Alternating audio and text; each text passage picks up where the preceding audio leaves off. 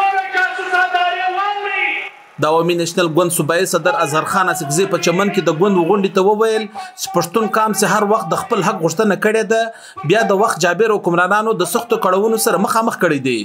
پاکستان ازادۍ د وخت څخه د پاکستان افغانستان ترمنځ کرښه باندې اباد پښتانه قبایل په ازادانه توګه تګ او راتګ کوي خو د نن حکمرانان دغه حق نه ورکوي. پر ډیورین لاین باندې په هغه ټولو معاهدو کې دا نقطه شامله ده چې پښتون افغان ملت به پر تذکره او پر پاسپورټ باندې خپل ورغلي ساتي کم ولي به ساتي هدیره به ساتي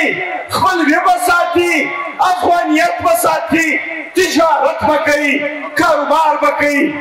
نو چې تا په شپږ اویا کاله کې یوه ورځ هم دا سوچ په مغزو کې نه راوړي نن یې ته په کوم قانون راوړې د عوامي نېشنل ګوند لخوا ان ډي ایم پی ټي ایم او پښتونخوا نېشنل عوامي ګوند سره په ګډه دغه احتجاج چې دلته په چمن کې د تیرو څلور پنځوس ورځو څخه روان پرلت په ملاتړ او د پرلت مشرانو په ضد مقدمې درج کولو او په چمن کې د پی ټي ایم مشر منظور پښتین د نیولو او سبب درکولو په ضد اعلان کړی وو خو په سملاسي توګه د دغه نن ورځې ملتپالو ګوندو پر دغه احتجاج باندې د حکومت څه قسمه دریځ مخته نه دی راغلی د بلوچستان صوبې نګران حکومت ویاند جان اسکزي سره تماس نیولو او دریځ اخیستلو هڅې وکړې خو هغه په خپل یو غږیږه پیغام کې دومره وویل چې امریکا غږ رسنۍ د حکومت مخالفو ګوندو ته کورج ورکوي ځکه زما د دې څخه بایکاټ دی خو مخکې جان اسکزي په خپل بیانونو کې د پرلت غوښتنې بې ځایه بللې دي چې حکومت د افغانستان سره تګ او راتګ پر پاسپورت او ویزه باندې کول لازمي ګڼي د نن ورځې احتجاجي غونډې ته د پی ټی ایم صوبایي کوارډینیټر نور باچا وویل چې د پرلت غوښتنې د ټولو پښتانه کام غوښتنې دي د دوی غورځنګ یې تر شا ولاړ دی پر چمن دروازه د پاسپورټ ویزې شرط د منلو نه دی خواو د یو ملت پروت دی کلی پر یو طرف باندې دی مسجد پر بل طرف باندې دی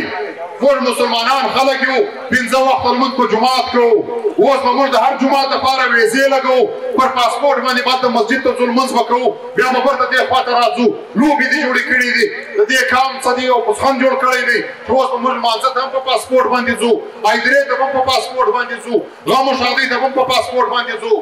دا د منلو وړ نه ده په دغه احتجاج کې شریک عادي خلکو وویل چې په چمن کې روان پر لک په ملاتړ د سیاسي مذهبي او ملتپالو ګوندو په احتجاجونو کې هر وخت په زورونو کسان شریک وي چې د حکومت دغه پریکړه نه مني خو بیا هم حکومت د دې خبره نه مني تانم بغاری و ناریه وی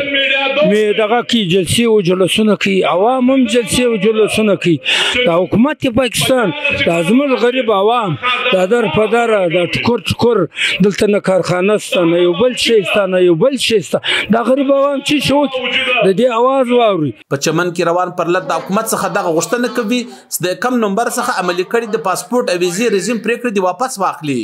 او دې ته د پرشاخته کارت او د افغانستان سپین بولدک پر تشکیره باندې د تګ ورتګ اجازه ورکړي خو حکومت پاکستان دغه پریکړه واپس اخیستلو ته تیار نه دی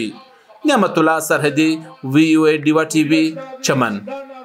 عملیات چې زموږ سره روان دي موږ به دا مشر ناستې زموږ د نور پاټ